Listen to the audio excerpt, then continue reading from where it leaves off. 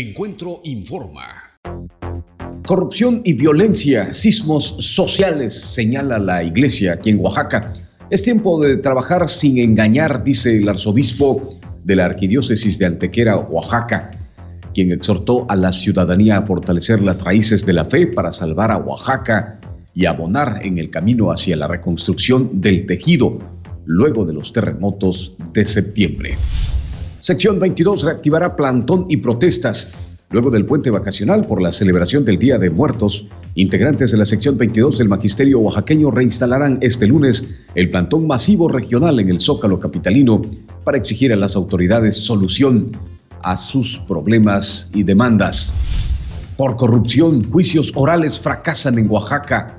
A pesar de los presupuestos millonarios que ha recibido la entidad para la construcción de infraestructura, capacitación de personal y adquisición de tecnología. Oaxaca es el estado del país en el que se ha registrado la peor operatividad del nuevo sistema penal.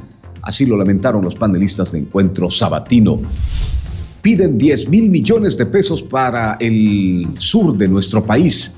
El presidente de la Comisión de Frontera Sur-Sureste, Enrique Zamora Morlet, informó que la instancia legislativa a su cargo solicitará 10 mil millones de pesos de presupuesto para el Fondo Regional para detonar el desarrollo y las entidades del sur del país, especialmente estas zonas afectadas por los sismos del 7 y el 19 de septiembre.